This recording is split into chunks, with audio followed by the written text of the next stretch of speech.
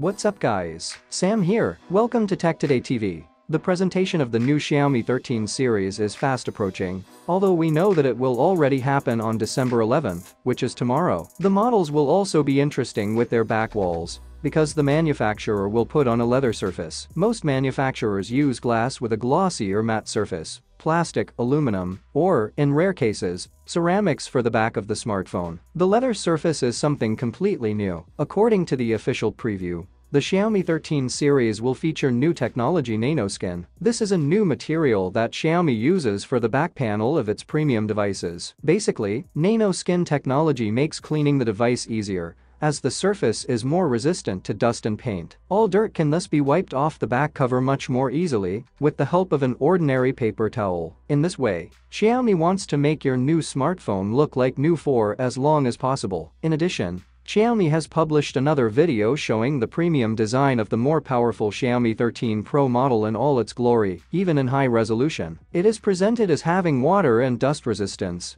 what finally will ensure IP68 certification which Xiaomi fans have been calling for for many years. The base model Xiaomi 13 will come with a flat 636-inch Full HD AMOLED display with a 120Hz refresh rate. The 13 Pro model, on the other hand, is slightly curved 673-inch AMOLED display with 2K resolution and the same refresh rate. Xiaomi 13 and 13 Pro will be equipped with the current best processor Snapdragon 8 Gen 2, RAM memory type LPDDR5X, and UFS 4.0 storage. The Pro model will have the main 11-inch 50-megapixel Sony IMX989 camera. The base model will include 4mAh battery, together with 67-watt wired charging, and the 13 Pro model will have a battery 4mAh battery together with up to 820 watt charging. However, that will not be all, and Xiaomi will present several other products. We expect a pair of confirmed smartphones Xiaomi 13 and Xiaomi 13 Pro, new superstructure MIUI 14,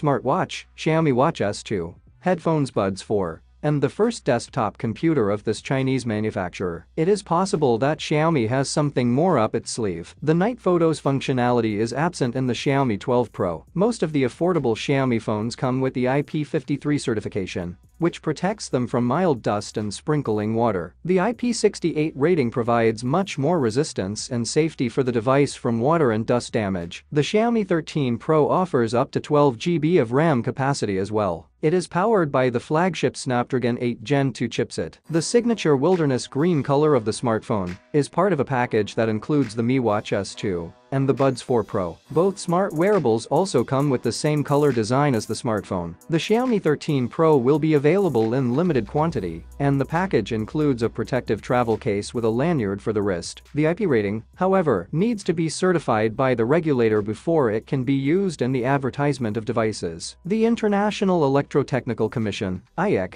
is the granting organization for such certifications. Xiaomi tries to position its phones as being champions for photography and videography, but the lack of a telephoto lens really hampers their chops in these departments. Telephoto lenses are generally used for zoom photography, but they're also great because they create a more attractive depth effect and also let you close the distance to subjects without having to move. Both these reasons are just as important for filming as they are for photographing. While Xiaomi sometimes packs telephoto lenses in its top-end phones, the standard Xiaomi 12 didn't get one, and the Lite and T versions usually don't either. But we'd like to see Xiaomi commit to more widespread use of zoom lenses to really give its phones a chance at competing with the Samsung Galaxy S series. How do you like leather surfaces on smartphones? Are you more of a supporter of glass or another material? Let us know in the comments below.